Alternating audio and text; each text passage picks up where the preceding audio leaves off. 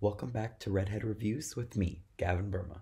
Today on Redhead Reviews, we have to talk a little quieter about everything because everyone around me is asleep. Today, we are discussing the play for colored girls who have considered suicide when rainbow is enough. It is a play written by Ntozake Shange, not sure if I'm saying that correctly, in 1976 and was originally performed in a women's bar outside of Berkeley, California.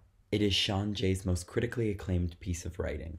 The lead characters have no names. The characters are based on the various colors of the rainbow, such as red, orange, yellow, you know, Roy G. Biv, instead of having actual names. Each color or colors deals with a certain problem or problems that black women face every day, such as abortion and rape. It shows us how the intersectionality of gender, sex, and race collide by having characters that are both black, gay, and female versus characters that are black, female, and straight, and the difference between the two.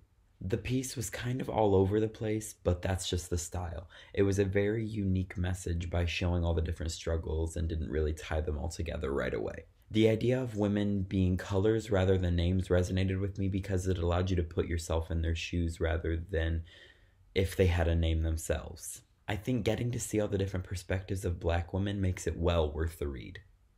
These types of plays are important to read and watch because they give us a new worldview we otherwise wouldn't have. Well, today was a very short, sweet review. I hope you all enjoyed. That's all I have for you today. Thanks for watching Redhead Reviews.